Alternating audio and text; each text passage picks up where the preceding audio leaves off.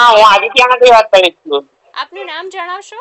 મારું નામ કિશોરગીરી આપનો અવાજ થોડો કટ થઈ રહ્યો છે આપનો કિશોરગીરી મારું નામ કિશોરગીરી હા હા જી આપનો પ્રશ્ન શું છે ઈશ્વરભાઈ? અત્યારે એવું છે કે અત્યારે આ મનમેડ પતિ પત્ની વચ્ચે છે તો આજે એવું છે કે ઓલું કડા કાઢવો પડે છે. અને એના માટે શું આપણે? એના માટે કશું જ નહીં તમારા લગ્ન જીવનને કેટલા વર્ષ થયા છે?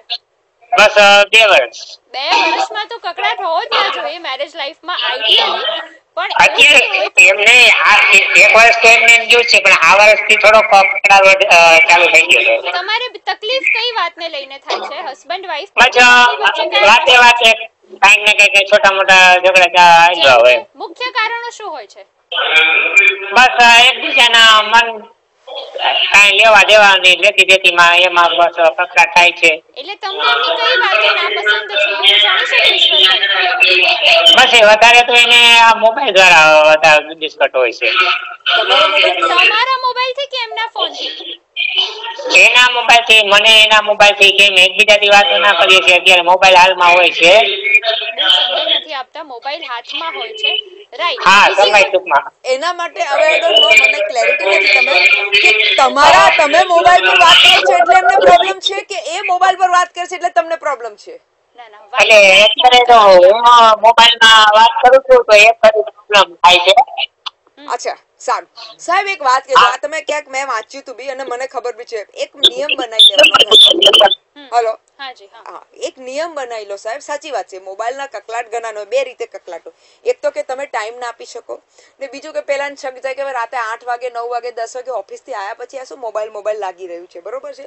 એટલે એક નિયમ બનાવી દેવાનો કે નવ ઘણા લોકોને મેં જોયું છે કે નવ યા સાડા નવ યા દસ વાગ્યા પછી એ મોબાઈલ પેલા સાયલન્ટ મોડમાં બીજા રૂમમાં ચાલી ગયો યા ચાર્જર પર ચાલી ગયો બીજા રૂમમાં ઘરમાં અંદર હોય જ નહીં. એક બે વાર આવી કારણ કે સી એવું કોઈ બી અર્જન્ટ કામ સાથે જ્યારે તમે પોતાના ફેમિલી જોડે હોવ છો તેવું કોઈ બી અર્જન્ટ કામ નથી હોતું કે જેના લીધે તમને કોઈ કોન્ટેક્ટ ના કરી શકે તમે રહી જાઓ રાતે નવ કે દસ વાગે. એટલે એવો અગર તમે રિવાજ તમારા ને એ પાછો રિવાજ બંને માટે હોવો જોઈએ. એવું નહીં કે ખાલી તમારા માટે. તમારા વાઈફ માટે બી એ જ રિવાજ હોવો જોઈએ. તમારા ફેમિલી જે બીજા બાળકો એના માટે બી એ જ રિવાજ હોવો જોઈએ કે ભાઈ રાતે નવ વાગ્યા પછી મોબાઈલ નહીં બીજો રિવાજ એવો છે જેમ કે અમારા ઘરમાં રિવાજ છે કે ભાઈ જમવાની ટેબલ પર તો કોઈ દિવસ મોબાઈલ જાય જ નહીં. બરોબર છે? કારણ કે જમવાનો ટાઈમ એ જ છે કે તમે હસી ખુશી જોડે બધા એક જોડે સાથે જમો વાત કરો આજે દિવસમાં શું થયું એકબીજા જોડે આપલે કરો મસ્તી ધમાલ કરો. કારણ કે અત્યારે હવે એવો એવો ટાઈમ આવે છે કે ટીવી ના પહેલા તો શું જમ્યા પછી લોકો જોડે બેસીને ગપ્પા મારતા હતા.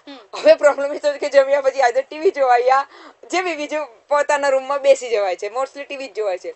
તો એ જે ટાઈમ છે નીકળી ગયો જોડે બોન્ડિંગ થવાનો. એટલે તમારે રિવાજ રાખવાનો કે ભાઈ જમતી વખતે મોબાઈલ નહીં રાતે નવ વાગ્યા પછી મોબાઈલ ને પછી તમારે બી એનો ત્યાગ કરવાનો. અને સાહેબ મને સમજ નથી પડતી કે અગર તમે કોઈ બી જાતનો કારણ કે એક એક નિયમ છે બિઝનેસનો બી નિયમ છે અને કામ ધંધાનો બી નિયમ છે. કે અગર તમે જાણે કે બિઝનેસ યા કામ ધંધાનો એ નિયમ છે કે અગર તમે ઘરે પોતાની બેગ લઈ જાઓ છો કામનું એના મતલબ કે તમે એફિશિયન્ટ નથી. તમે પોતે એફિશિયન્ટ શું કહેવાય હા એફિશિયન્સી તમે એટલા સમયમાં કામ પતાવી ન શકો હા એટલે બધું ઘરે લઈ જાઓ છો.